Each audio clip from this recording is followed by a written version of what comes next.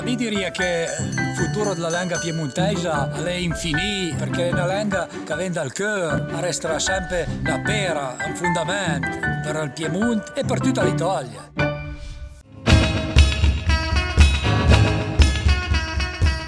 Mi chiamo Alberto Conte e lavoro, mi occupo da una quindicina d'anni di viaggio lento, a piedi in bicicletta. Eh, ci sono arrivato probabilmente perché viaggiavo troppo veloce, io quando avevo 30 anni sono diventato un, un manager in una multinazionale americana, viaggiavo per l'Italia e per il mondo a velocità eccessive e mi domandavo che senso avesse tutto questo, quindi ho, ho cercato di valorizzare quella che era l'esperienza che avevo fatto in questa azienda facendo qualcosa che fosse un pochino più vicino ai miei interessi. Mi piaceva viaggiare, mi piaceva andare in bicicletta e ho deciso di fare di questa passione un lavoro. Ho mollato tutto e mi sono buttato in questa avventura. All'inizio ho fatto molta fatica, poi dopo qualche anno con pazienza, metodo, ostinazione e testardaggine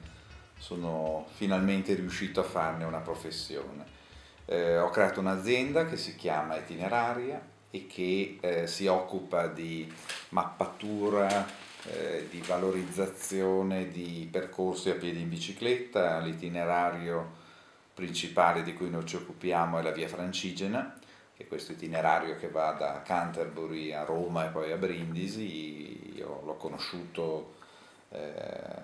all'epoca del giubileo del 2000, mi sono innamorato di questo progetto e poi ho avuto la grande fortuna di poterci lavorare e oggi mi occupo di, di tutta quella che è la cartografia, il sito web e la, la, la gestione del, del percorso della via Francigena.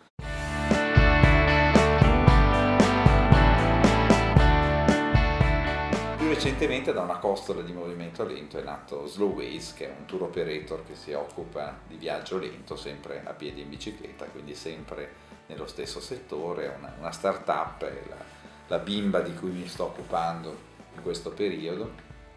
che mi assorbe moltissima energia come bimba e, e quindi contribuisce al mio frenetico lavoro di questo periodo. Il cambiamento, per quanto mi riguarda, riguarda innanzitutto me, le persone che mi stanno vicino, il, eh, il territorio che mi sta vicino, io penso che appunto innanzitutto per con una banalità che, che, chissà quante volte verrà detta anche in queste, in queste interviste, bisogna, bisogna, cambiare innanzitutto se, stesse, se, stessi e le poche persone che ti stanno accanto per, per creare un, un, vero cambiamento. In questo senso io trovo bellissima la cosa che state facendo voi con questo viaggio in bicicletta nel Bellese, mi ci riconosco molto e piacerebbe molto sostenerlo con, con tutto quello che, che, posso fare. Il cambiamento è fatto di questi piccoli gesti, cose molto apparentemente semplici che però appunto possono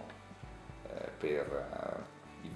la, la teoria di vasi comunicanti influenzare poi il cambiamento del mondo.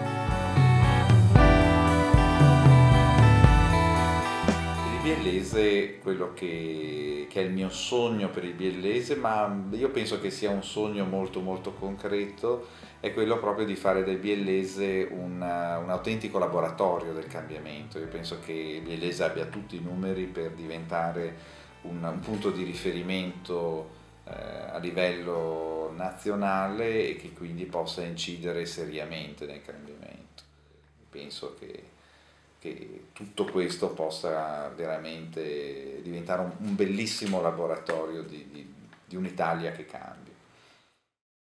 Quest'Italia che cambia non puoi fermarla